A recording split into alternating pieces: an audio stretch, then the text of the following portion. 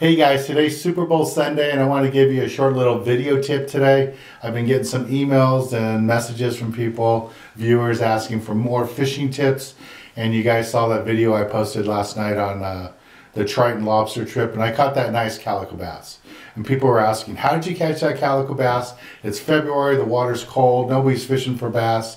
How'd you catch that bass? And we only had like 40 minutes to fish. I caught three legals and uh, probably could have caught more, but I ran out of squid. I only had a few pieces of squid to fish with, and um, then we had to start catching the lobsters and bringing in the hoop nets. So here's a little video of the calico bass I'm talking about. See the video right there?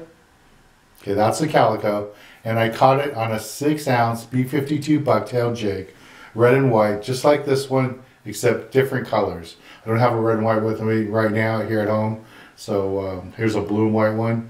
Same model right here, six ounce. Just use this bucktail with a whole squid on it, working it really close to the bottom, and that's how I caught the fish. Now what you have to remember about this time of year, the water's really cold. And because the water's cold, you have to really slow down your presentation. You almost have to hit the fish on the head with the bait to catch them. You know, you're fishing this, this time of year, February, January, even coming up in March, water's still going to be cold. You got to fish really slow. The fish are there. The calicos don't migrate a long distance like the sand bass do. The calicos will stay right there, and even sand bass, there'll be some home guards that will stay in the same area year round. But if you want to go catch calicos and catch sand bass, this time of year, you got to fish really slow. Just take a big bucktail, four or six ounce bucktail, put on a whole squid, cast it out, and work it to you. And what I mean by that is let it hit the bottom, say you're in 50, 60 feet of water, hop it up a little bit, and then let it flutter back down. Sit there for a second or two, pick up the slack, lift up the rod tip, make it hop up again, and then let it flutter right back down. And you just want to bounce it from rock to rock, stone to stone, and as you cover that bottom area, the fish is going to see it, and if you get it close enough to them, they're going to bite it. One nice thing about fishing a really big bucktail like this is you're not going to catch little fish. If you get a fish, it's probably going to be a legal size fish. And depending on the rocks you're fishing, there might be lingcod and other fish mixed in. But right now, rock fishing is closed. So I'm just talking about calico bass fishing because calico bass you can catch right now in sand bass. You can catch a white sea bass too. But normally more on these rocks, it's going to be more bass and even sculpin too.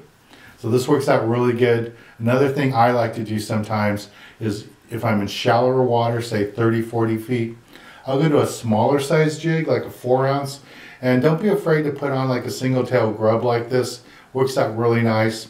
Get some crazy glue or strong glue that you can glue that tail on there and fish it the same way. Work it out there, cast it out there, work it back to you, have it swim over the rocks, stop on the rocks, swim back, you can put a whole squid, strip of mackerel on there will work, but I've caught lots of fish in the last couple of years fishing the same exact rig with no bait on it. Last year I caught quite a few yellowtail, even one monster 30 pounder Catalina on this same exact outfit. Four ounce B52 bucktail, single tail grub, just working it back, swimming it back to me. Yellow was close to the bottom, saw it, came up, ate it, set the hook on it, and with a nice big hook, no problem, brought it in. We have the brand new B52 um, HD models too that have even bigger hooks, ADOT mustad hooks, super strong hooks. If you're to be targeting white sea bass, halibut, huge calicos, that's the model I'd be fishing a 4 ounce B52 with that brand new larger hook, the HD model. So I'll put a little link up here so you can see those on our website. But I just want to give you some tips on Super Bowl Sunday. Uh, I've been getting some messages. You guys saw me catch that nice calico bass in that little video I posted for Ryan on the Triton. And uh, it was fun. We didn't get limits of uh, lobsters, but a lot of people all got lobsters. Some guys had five, six lobsters to take home. Almost everybody had lobsters, and I got one. That's been my magic number. I get one lobster per trip, it seems like. But um, I just want to give you some fishing tips so you can get out there and go fishing. You don't have to wait for March for the rock fishing to open. You can go right now, go tomorrow after the game's over. I know no one's going fishing today. They're all going to enjoy the Super Bowl, and I'm going to be doing the same thing. But I just thought I'd share this little tip with you. Make sure you have some B-52 bucktail jigs when you go fishing, especially in the colder water like this.